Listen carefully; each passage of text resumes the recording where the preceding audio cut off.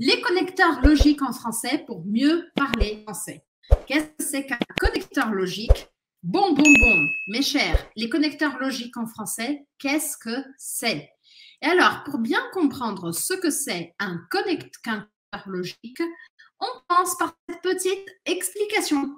Les connecteurs logiques sont des mots ou des petites locutions, comme on les appelle, des expressions ou deux ou trois mots ensemble qui établissent des relations qui peuvent être opposition de situation spatiale, de causes, de conséquences, d'argumentation entre les éléments. C'est-à-dire, ils vont aider à connecter deux propositions, deux idées différentes. Ils vont connecter ces deux idées avec cette petite expression, ce petit mot au milieu qui s'appelle donc un connecteur logique.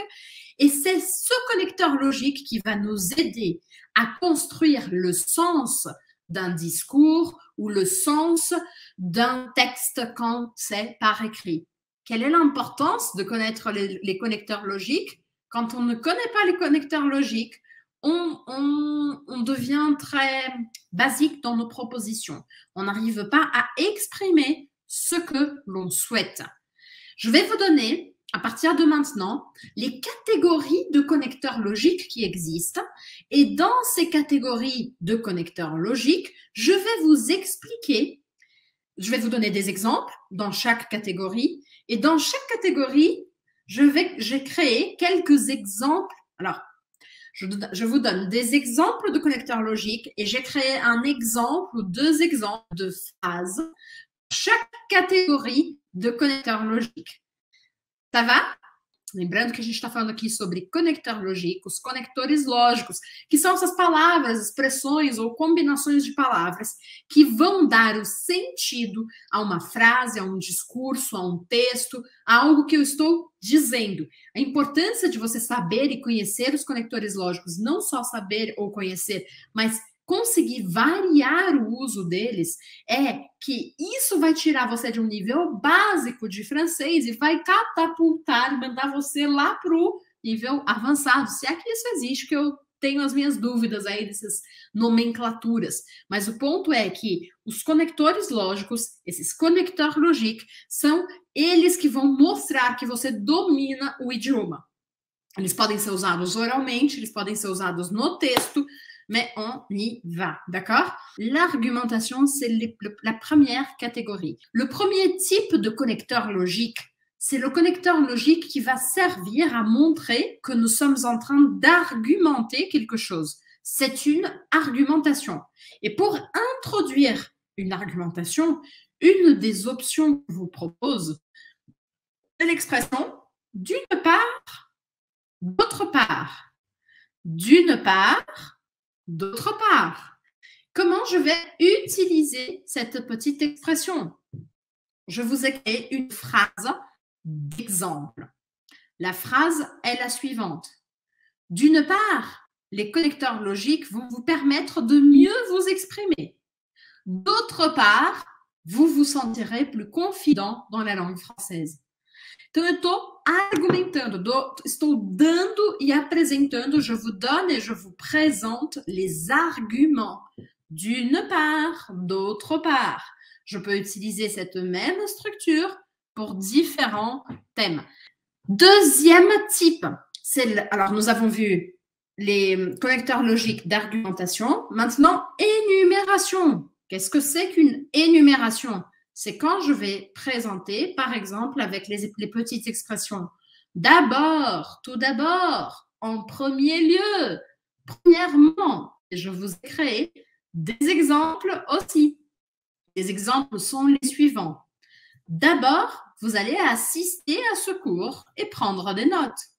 Ou alors, premièrement, faites bien attention. Donc, quand je crée une énumération, un ordre, je dois exprimer avec un connecteur logique. C'est ce que j'ai fait dans ces deux petites phrases. J'ai créé des phrases avec ces connecteurs logiques d'énumération. Temps. Qui connecteur logique de temps? Et les combine com antérieur. D'accord? Parce que je peux utiliser les deux en même temps, énumération et temps. Donc, je peux dire au début, à la fin, plus tard, depuis, depuis que. Je vais mettre mes lunettes. Depuis que, à l'heure actuelle, actuellement, en ce moment, en ce jour, maintenant, aujourd'hui, autrefois, dans le passé, avant que, ou avant plus un nom, ou avant deux, euh, il y a trois heures, trois jours, trois mois, trois ans. lorsque, pendant plus un nom, pendant que plus un verbe, après que, après avoir plus un participe passé, aussitôt ou après que, euh, jusqu'à, jusqu'à ce que, plus un subjonctif. Donc, toutes ces euh, tous ces petits connecteurs logiques vont servir à quoi? Ils vont servir à localiser ou à, établir à quel moment l'action qui se passe a lieu. Les deux exemples que je vous ai créés. Après avoir assisté au cours, tu pourras mettre en pratique en écrivant un texte, par exemple. Donc, après avoir assisté à ce cours d'aujourd'hui, tu pourras pratiquer les connecteurs logiques en écrivant un texte. Ou alors, quand tu auras participé au grand saut, cela va être encore plus simple pour toi. Quand tu auras participé au grand saut, alors qu'est-ce que ça veut dire ça? Quand tu auras. Quand tu auras participé, quando você, então. Quando você, eh, você vai participar do Saut, e isso vai ficar mais fácil. Então, eu junto essas duas ideias usando isso que se chama conector logique aqui de tom, porque ele localiza. Quando isso tiver acontecido, aquilo vai acontecer. Quando você tiver participado do Grand Saut, vai ficar mais fácil você usar os conector logique. Sentir então, a gente está vendo ali conector lógico, os conectores lógicos, que vão criar uma lógica entre duas frases ou dois momentos, né? Duas, duas ideias diferentes.